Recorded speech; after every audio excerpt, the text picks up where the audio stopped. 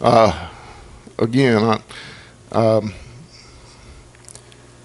things that, that what's been on my heart. I, uh, a few weeks ago, all the uh, the church leadership, worship team, everybody met at my house, and uh, I told them that day what had been on my heart, and I've not been able to get to get rid of it. So I want to share that with you today, um, and that is over the past six, seven months, I have listened to so many people that profess to be prophets, that profess to know what God is saying to them. And and they've made all kinds of claims in regards to the election. They made all kinds of claims in regards to America.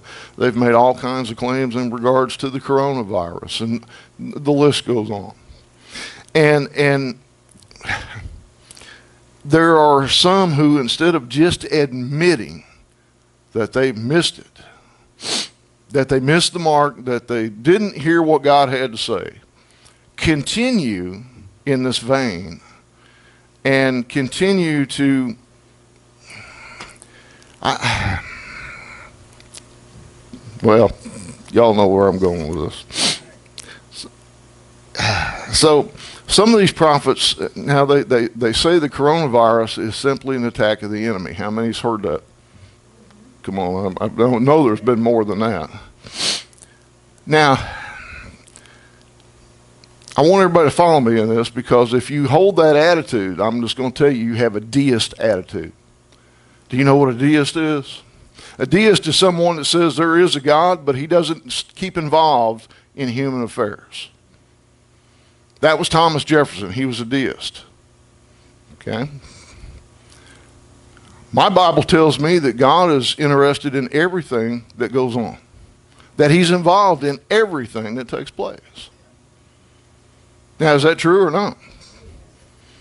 So I can't hold that attitude when people say that because if something occurs on the earth, either God commanded it or He allowed it to occur.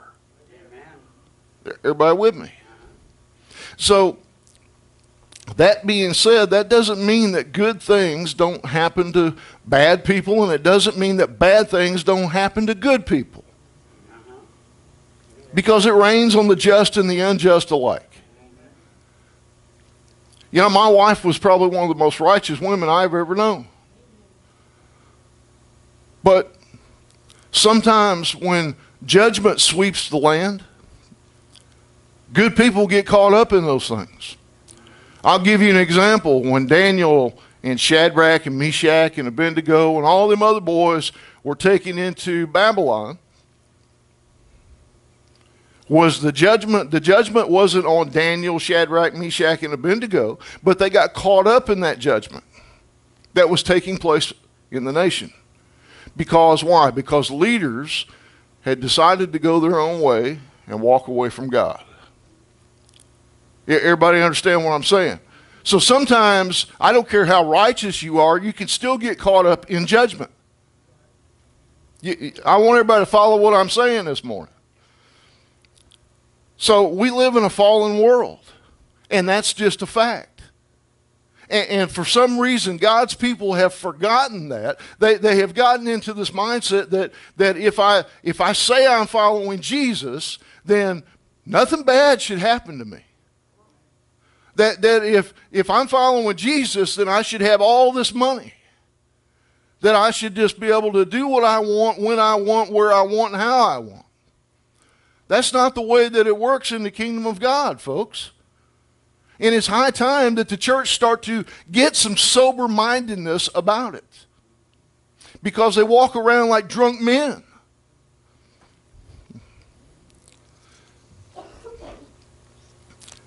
Many prophets have said that America will be saved and come into a great revival. I, am hearing this more and more and more. Well, I'm just, I, I pray that's the case. I, I truly pray that's the case. But I will say that the, America is not the center of God's universe.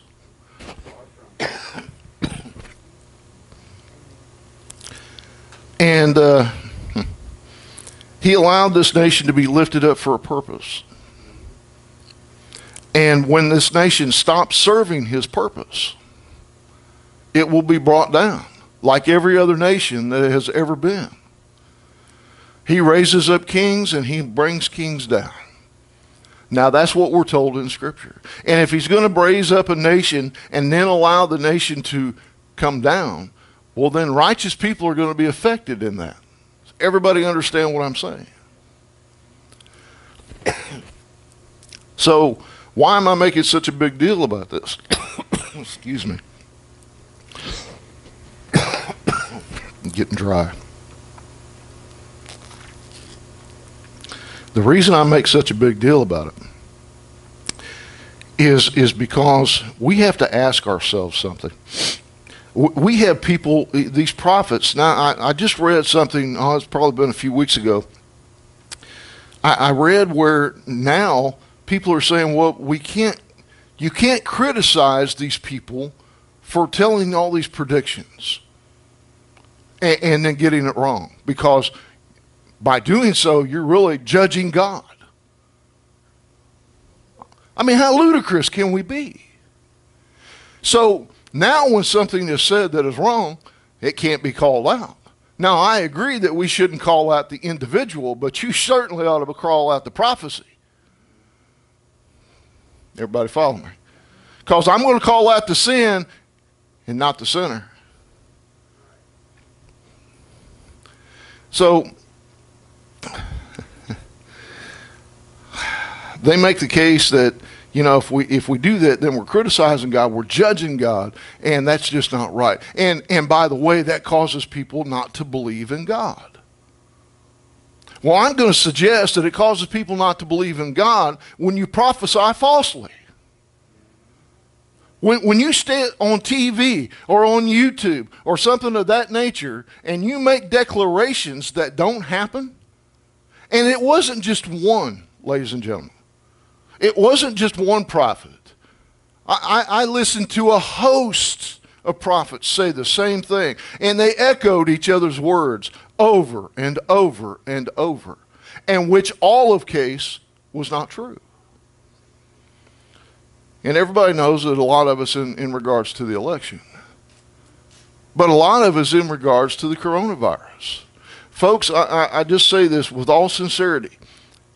God, when God brings judgment, He allows plagues to come across the lands. And where did this where did this plague come from? Is it from the east? From China? Amen. I, I, know that's politically incorrect today, but that, that's where it came from, right? Where did the plagues of old come from when they would sweep across the land of Israel? They came out of the east and they swept into the land. Listen to me. This nation is being judged because we have walked away from God. I have said this for the last several years that if we didn't turn around, that this was what was going to take place. And nobody would listen to me. Everybody said, Oh, you're a gloom and doom. I'm sorry. I'm just telling you what I see in the scriptures and what I see taking place in our nation. And what's worse, what I see taking place in the body of Christ. So we need to ask ourselves some things because I want to clear up some of this nonsense because that's exactly what it is is nonsense. Firstly, we need to ask ourselves are we truly hearing from Jehovah and are we feeding on his manna? Are we feeding on his manna? Or are we simply eating spiritual junk food? I, I, Sherry said something about uh, Mr. Bird's dog that how it was overweight. And when you get overweight, you know what happens? You get lazy. I, I mean, you just do. It's natural occurrence. So, junk food is not good for you, and too much of it will destroy your body. Everybody understand what I'm saying? So some of us like to snack when we're eating, watch a TV, you know, we get them snacks going, and, and hey, we're all guilty of it, right? But that's what I'm going to liken these, these prophets to is spiritual junk food. because while it may taste good when you're eating it, it has no nutritional value to it whatsoever. And when you eat that junk food, it dulls your senses. Anybody ever eat junk food and then all of a sudden you're tired? You want to go to sleep? Well, can I suggest that that's exactly what these prophets have done? They have fed you spiritual junk food to the point where you partake, and when you partake, you want to go to sleep. Why? Because you think everything's fine. And they have lulled the church to sleep. So, what are we eating? Are we truly eating from the Word of God or are we eating junk? 1 Corinthians 14 32 and 33, it says, And the spirits of the prophets are subject to the prophets. For God is not the author of confusion, but of peace, as in all the churches of the saints. Now, why? The reason that, that the spirits of the prophets is subject to the prophets is to keep this nonsense from happening. Is so that prophets can actually judge the prophecy that's given. See, true prophets are supposed to deliver God's word the way it's given to them, not the way they want it to be. See, we can see example after example of people who falsely prophesy throughout Scripture. I mean, it's not just in one spot, it's all over the place. And Jehovah even calls out those false prophecies. He calls out the false prophets, he calls out the false pastors and teachers. So, this nonsense of not calling out bad prophecy is not scriptural. It's just not. But We've been lulled to sleep in the body of Christ, and lo and behold, well, if you say anything about anybody anymore, my God, everybody gets offended. Why do you think our nation is in such disarray? I mean, we can't even call out a congressman for being not doing their job. I mean, how did, would that work on your job if you can't ever call out someone that never does their job? So all morale starts to drop and the company starts to fall apart over time. Everybody because this person will go, well, they're not doing what they're supposed to do. I don't have to do what I have to do. And eventually it starts to filter into everything. Well, that's exactly what's taking place here in this nation. I mean, we won't call out congressmen, we won't call out senators, we won't call out pastors. I mean, we have pastors that stand in the pulpit that are sexual predators, and we won't call them out. We, we have people that stand here that are, okay, not what they're supposed to be. And we won't call it out. In the body of Christ, there's a debate about what is actually the Word of God and what's not the Word of God. But we won't call that out either. So instead, what people do is they just run from church to church to church till they find something that they really agree with and that's where they'll sit down. And that's the very place that God doesn't want you. You better be going somewhere that absolutely challenges you to be better than you are today. So if if not calling out if not calling out false prophecy was wrong, then was Elijah wrong for calling out the prophets of Baal? I'm just asking a question. I, I mean, in 1 Kings 18, 7, uh, 17 and, and, and 18, he says, It came to pass when Ahab saw Elijah that, uh, that Ahab said unto him, Art thou he that troubles Israel? In other words, Ahab didn't like Elijah. And it troubled all these other people that Elijah would stand up and speak the word of God, and they didn't like it. It rubbed them the wrong way. And, and Elijah answered and said, I've not troubled Israel, but you and your father's house, in that you've forsaken the commandments of the Lord and you followed Baalim. Well, I'm going to say the same thing today. It's not me that troubles the house of God. It's your own actions that troubles the house of God, in that they have walked away from the commandments of God and went their own direction.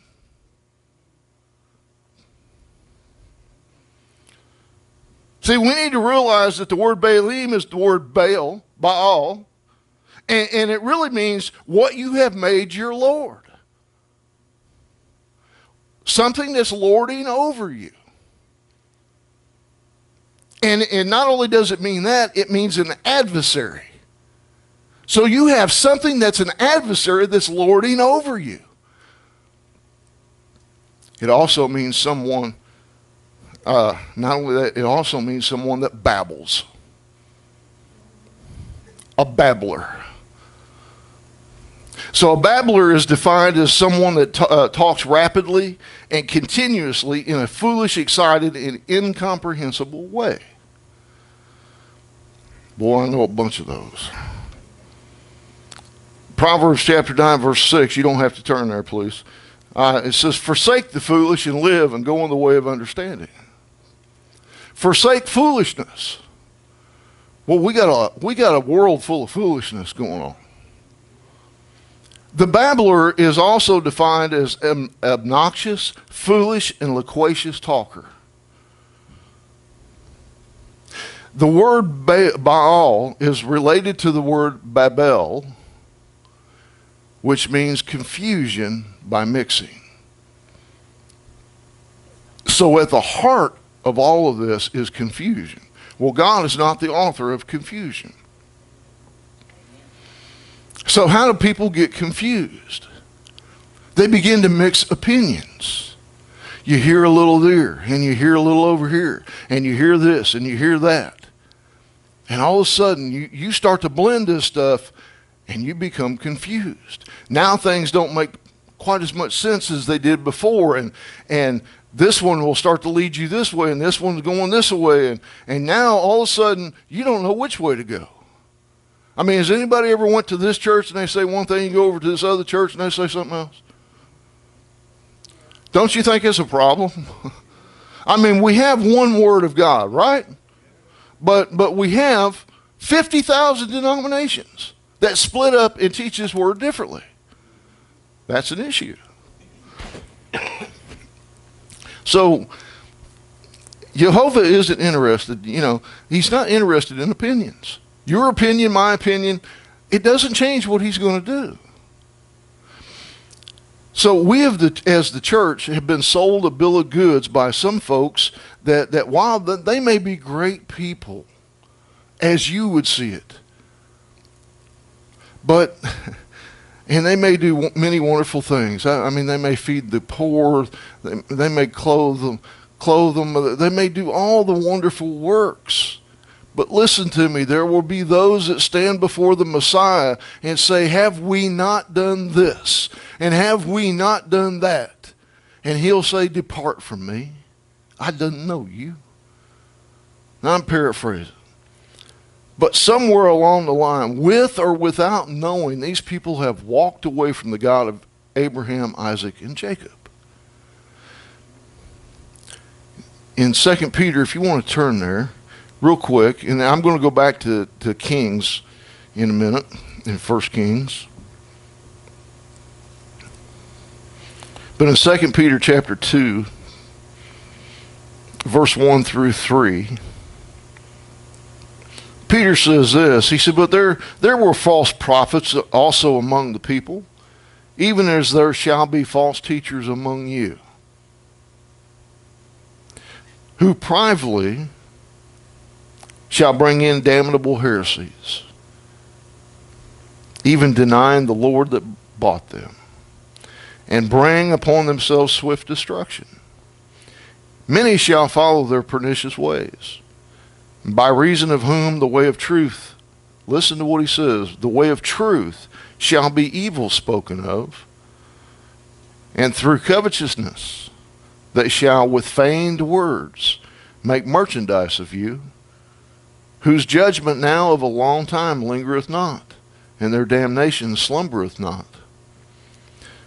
So Peter's warning about the false prophets and the false teachers and he plainly tells us because of what they teach, because of the things they teach, that's what he's saying. Because of the way they teach, the way of truth will evil be spoken of. So, do you notice today that, that people can try to tell a truth and everybody starts to beat up on the person telling the truth? Why? Because it's seen as evil. Can I suggest the same thing has been happening in the church for a long time? When people start to speak truth, other people don't want they no, that ain't the truth. Why? Because we learned something different. Well, there's a difference between indoctrination and truth. I mean, have, do you ever remember a time in your lifetime when truth has been so repulsed by people? So Peter said that they would use God's people as merchandise. And that's exactly what these prophets do. They sell you a product called prophecy. Oh, they got plenty of DVDs and CDs and uh, books, and you just you just go right down the list, and they sell you this, and people just eat it up because they love to eat junk food. And the best thing about their product is they get to make the rules. Well, yeah, I said that, but I didn't really mean that. And come on. When you miss it, you dismiss it. I mean, I've stood before this congregation before and said, I was wrong. I'm not ashamed to do that because I'm a human being and I can make mistakes. I am not ashamed to be what I am. Now, I'm not going to stand up here and tell you God said this if He didn't say that to me. But these kind of men and women, folks, are hirelings. They don't care two hoots about you. They don't care nothing about you. All they care about is money and popularity. And one drives the other. Popularity drives the money. So the more popular I become, the more money I can make. And it looks wonderful in the in, in the look, it, when the parking lot's overflowing and people drive by and they go, oh, I bet that church is, I bet we need to stop and check that church out. But when you drive by a church and maybe got a few cars in it, people going, oh, their services must must not be very good. I won't say what I was thinking, but everybody follow me? See, because that's the way we're driven. But you need to reverse that the ones that maybe don't have but a few cars are the ones you need to be sitting in the parking lot and going in the door. So people can easily get off course, especially when they don't really know God's word. And unfortunately, unfortunately, most of God's people don't know God's word. So it's easy to manipulate and confuse people. And I'm not saying they do it intentionally. I'm not, I'm not saying that at all. As I said, with or without knowing, they have gone a direction and they have walked away from God, whether they knew it or not. And it's happened over and over in Scripture. Back in first, back to First Kings chapter 18. I, I'm verse 21 and 22. And, and most of you all know this passage. Uh, but it says Elijah came to all the people and said, How long are you going to halt between two opinions? If the Lord be God, follow him. And if Baal be God, follow him. And the people answered him not a, answered him not a word. Then said Elijah unto the people, I, even I, re- only remain a prophet of, of the Lord. But Baal's prophet are 450 men. Now, I mean, here's this one guy standing here against 450 prophets. And Elijah says, I'm, I'm the only one left. I mean, we know that because he goes to the Lord later and he says, I'm the only one left. And God says, No, Elijah, you're not the only one left. I got 7,000 that haven't bowed their knee to the Baal. But what's that tell you? How many did bow their knee? How many prophets had bowed their knee? To that, listen to me, it's a system, and I'm getting ready to show you it's a system. 7,000. So Elijah says, make up your mind who you're going to serve. Are you going to serve this or are you going to serve God? I mean, That's where the church needs to be. Make up your mind what you're going to serve. You're going to serve Jehovah or are you going to serve the world? Because I'm telling you, I, I, said this, you know, I said this before we ever, uh, before my wife got sick. Things are coming down the pike that we need to be ready for, and you need to know where you stand.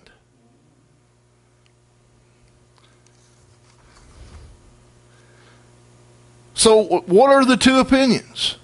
I mean, he says, follow God or follow Baal.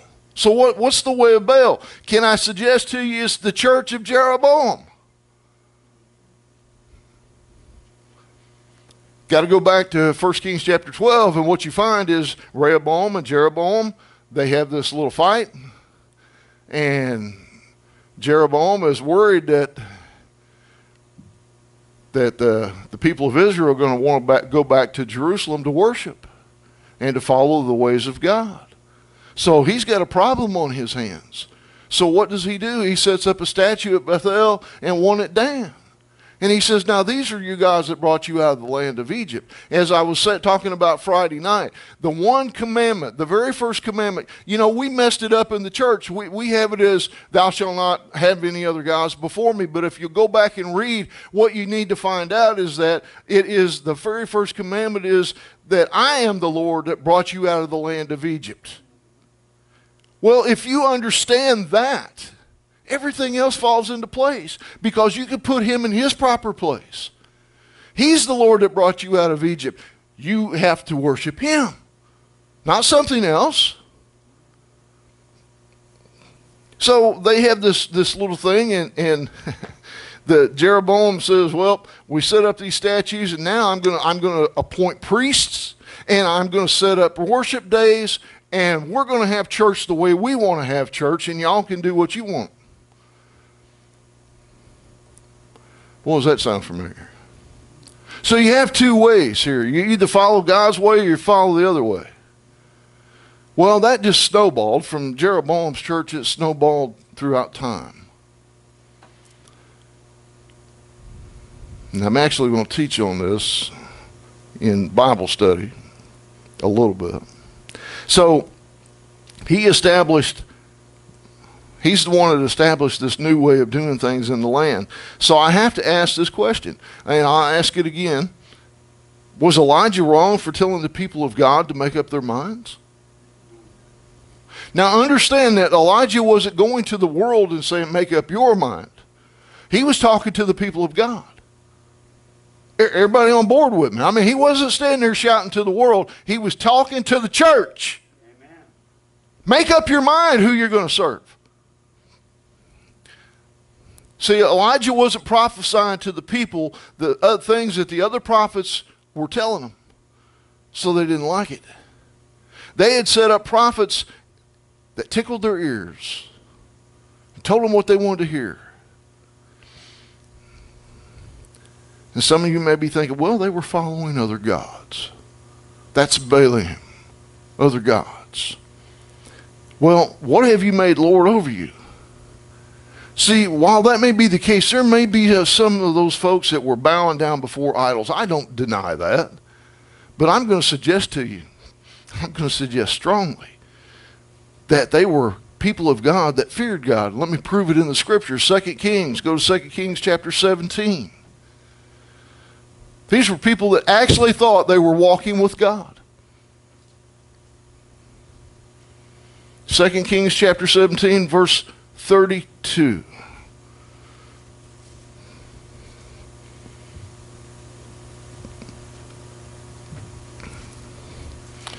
It says, So they feared the Lord and made unto themselves the lowest of them priests of the high places, which sanctified for them in the house, or sacrificed, I'm sorry, for them in the houses of the high places. So understand that he had set up these high places where they could go worship. So these priests that were made of uh, from the lowest of them, what's he talking about? God has appointed one way for a priest to be. Supposed to have been after the, uh, the lineage of Aaron and the Kohanim. Only those. So they come along and say, well, no, we'll, we'll, we'll make our own priests. So What's that telling you? Well, they're already outside the will of God. Is that not right? They didn't have the right to do that, right? They didn't have a right to set up a different place of worship, did they? They didn't have a so they come in and so they said, well, you know what? We're gonna we're we're gonna worship on the days we want to worship. We're gonna worship on, you know what? We won't even fool with Shabbat. We'll we'll do the next day. Our, we won't even fool with the feast. We'll we'll set up our own feast days. And so I can worship how I want, when I want, where I want, and God has to accept it. That's what this system was doing.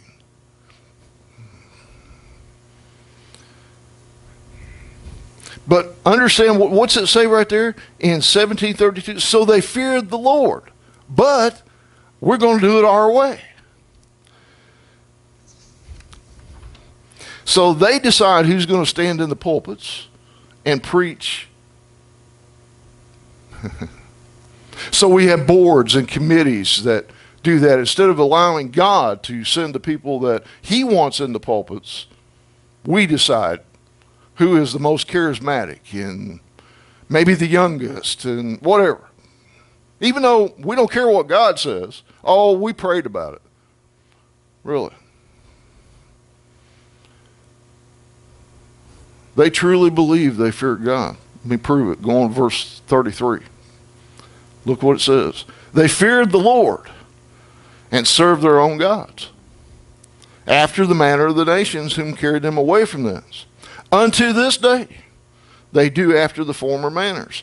They fear not the Lord, neither do they after his statutes or after the ordinances or after the law and the commandments which the Lord commanded the children of Jacob, whom he named Israel. Your name is Israel. Your name is Israel. I don't care what people want to tell you, your name is Israel. You are grafted into the vine. Your name is Israel. Plain and simple. So the people of Jehovah are going about their daily lives thinking they truly believed, they believed in their heart that they feared and revered the Lord. This is exactly what Elijah was talking about when he asked the people, How long will you go back and forth between these two opinions? You say you fear God, but you're doing this. So, how long will the church as an assembly go back and forth between two opinions? I can't answer that for you or from, I can only answer it for myself. I stopped a long time ago. But there's things that I need to work on myself. So if you're tired of being confused and looking for answers, then try eating from the manna and stop eating the junk food. Try listening to true prophets of God stop eating all the junk that's out there. Start digging into the Word of God. Stop searching for answers on the internet and all these other means. Because while you may find them, you're also going to find about 50 other or 50,000 other answers to the same question, and it's only going to leave you confused about what you've read. Stop going back and forth between man and God. God's right, man's wrong, end of the story. What was sin in the past, still sin today, whether you like that or not. God didn't say you had to like it. He just said that's the way it is. I know when my mom and dad used to tear my backside up, I didn't like it, but that's the way it was. What God spoke in the past, ladies and gentlemen, is still applicable to your life today. Not just one thing, all things. For man doesn't live by bread alone, but by every word that proceedeth out of the mouth of God. That's Scripture. So, which words do you want to pick and choose? Because as I was talking about Friday night, The church likes to divide up the law into to moral law, civil law, and Levitical law. I'm sorry, ladies and gentlemen, there isn't one passage of Scripture in your Bible that divides the law. Now, it is divided into who it applies to, but it is not divided for you to say, well, uh, I, don't, you know, I don't have to do that. Listen to me who, who are you to go out here on the street today and say, well, I'm not going to follow that law? You know, that store there, I, stealing's not wrong. I'm not going to follow that. I just go in there and get what I want. How long do you think you're going to last doing that? You know you're going to get arrested or shot. You, you understand what I'm saying? We, we do that to God, but we wouldn't, if you're a decent person, you wouldn't dare do that in society. But that's what we do to the Lord. We, we say, well, I won't do, I won't choose this, I'll choose this. Oh. So we, I'm going to start to close with this. So how do you know if it's a true prophet? How do you know if, if it's a true prophet? In other words, we have to we have to allow their words to tell us. If their words don't align with Deuteronomy chapter 13, run. Don't just walk, run away from it. Deuteronomy chapter 13. I'm going to close from, from here.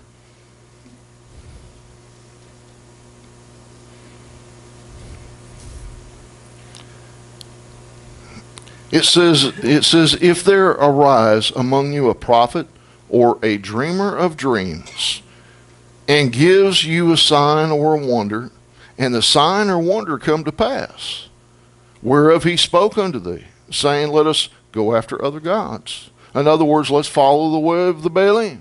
Let's do what we want, when we want, where we want, and how we want. Which you have not known, and let us serve them. Thou shalt not hearken to the words of the prophet or the dreamer of dreams. Listen to what the scripture is telling you. For the Lord your God proves you to know whether you love the Lord your God with all your heart, all your soul.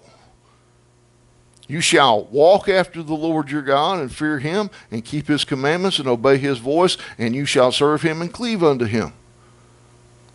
Does everybody understand what I'm saying? So understand that these false prophets exist because God allows it, because He sends them among you to see whether or not you are going to listen to a bunch of garbage.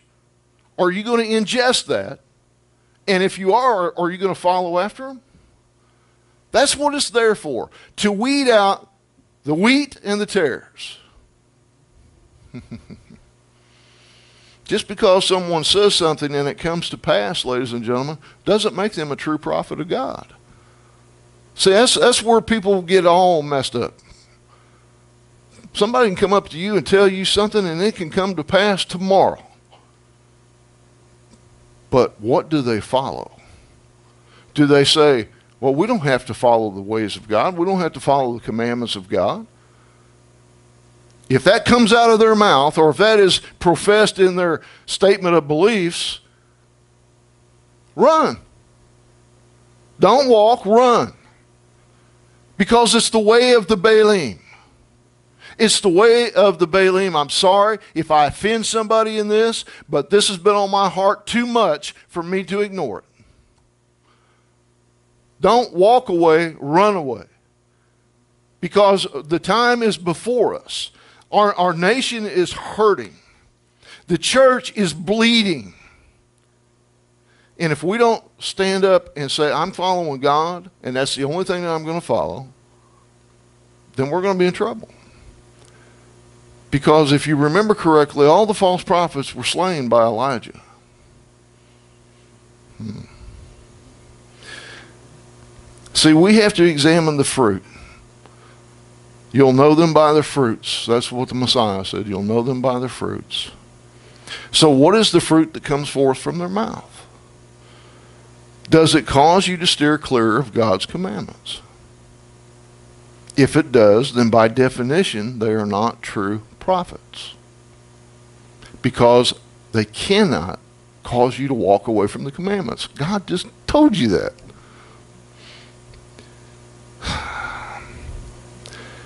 I'm going to read this and close. In, in, Jeremiah chapter 5, verse 30 and 31, it says, an, appeal, an appalling and horrible thing has happened in the land. The prophets prophesy falsely.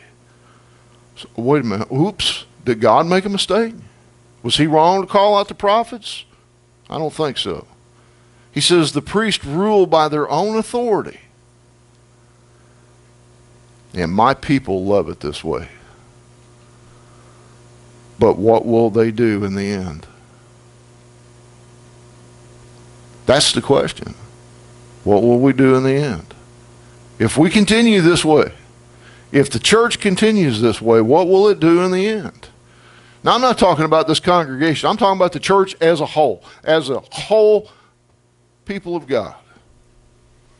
What will we do in the end? What do you do when you don't know what to believe? My answer to you is to turn back to God. Repent and turn back. Leave other opinions behind and repent. When you're confused about something, say, just start to pray and say, Father, I am confused. Allow this confusion to pass and show me. Show me in your word. Because I know there's an answer if you'll show me. Because if you don't, then we have to ask the question if we aren't really tr- truly following God, then where will we be in the end? If the righteous scarcely be saved, hmm, listen to the words scarcely. Where will the unjust and the sinners find themselves? That's why I pray this message touches somebody's heart, whether it be on the radio, whether it be on YouTube, whether it's here. I, I pray this, this message has been on me so strong. I pray that the nonsense among God's people will stop. That we will come together and start to worship together. Start to learn and glean from one another instead of fighting and backbiting one another. Because that's where it needs to be how beautiful it is when God's people come together in unity. Isn't that what Scripture says? How, how wonderful it is. It's like the, the, the anointing oil that flows off of Aaron's beard and runs down. That's the way it needs to be. It needs to be back to the way it once was. Uh, let me pray. Father, I, I just pray that I have delivered this in a way that, that you wanted me to. I, I, I ask for my words to fall to the ground. May your words go forth. Father, I just ask that you would just place it in our hearts and our minds to, to stop this nonsense of, of following after two opinions. Let us be diligently to dig into the Word and to follow after you. Whatever it is, Father, whatever it is in me that you want to want me to shed, that you want me to place on that altar, allow it to be burned up, Father. Uh, allow more of you and less of me. Because, Father, I, am don't play games anymore. I, I know the time for games is over. It's time for us to become serious because this battle is becoming very serious. And while I know it looks like the darkness is, is, is ahead, the light is about to shine. And, and I know that you are, you are the victor in everything that we do. And I know we'll have the victory as long as we press into you. So, Father, Show us how to take the battlefield. Show us how to put on the entire armor that we've been given. Show us how to walk in righteousness, how, how to do all of these things that you've asked us to do. Father, show us how to do that. Show us how to get away from man and really be encompassed in you. And we will give you all the praise, all the glory, and all the honor.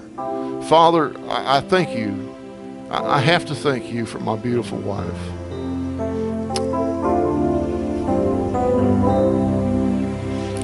I thank you for all the years that I got to share with her. And Father, I just, I thank you that you love me that much that you would allow me to have her in my life. She's helped to guide my life, and she's been my helpmate the entire time. And I thank you for that. And I ask you, Father, to give us all peace and understanding in our hearts that sometimes bad things happen to good people. And you didn't promise us a rose garden. And even if you did, there's always thorns on the rose bush. So sometimes we have to endure a little to see the beauty in things. Allow us to see the beauty in everything that you do, that we can always praise your name, no matter what. It's in Yeshua's name that we pray. Amen.